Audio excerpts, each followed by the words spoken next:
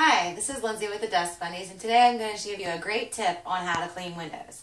What you want to do is one side of the window with horizontal streaks, and the other side of the window with vertical.